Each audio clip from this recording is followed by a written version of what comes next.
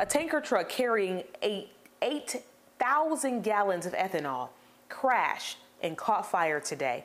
The crash happened on GA 316 near Patrick Mill Road in Barrow County.